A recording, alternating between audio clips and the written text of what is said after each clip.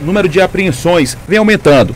Em um comparativo entre o primeiro semestre de 2016 e 2017, foram apreendidos quatro no ano passado, contra 25 este ano. E veículos recuperados foram quatro contra 16, um aumento de 300%. Através do curso de DV, Identificação Veicular, que é um curso do DETRAN e a coordenação da CPRV, temos obtido excelentes resultados.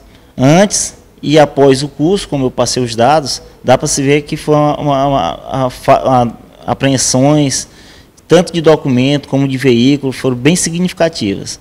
Com a realização dos cursos e aprimoramento do trabalho de identificação dos sinais de adulteração visualmente, o número de apreensão de veículos em situação irregular subiu de 9 para 43. Só este ano já foram quatro, durante abordagens realizadas por policiais da CPRV.